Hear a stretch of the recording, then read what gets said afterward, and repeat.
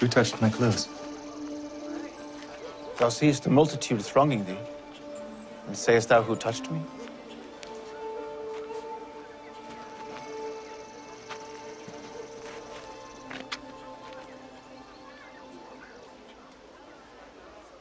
Master.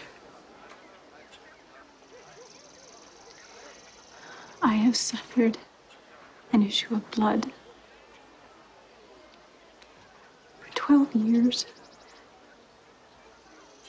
And I knew if I could just touch thy clothes, that I would be whole. Daughter, thy faith hath made thee whole.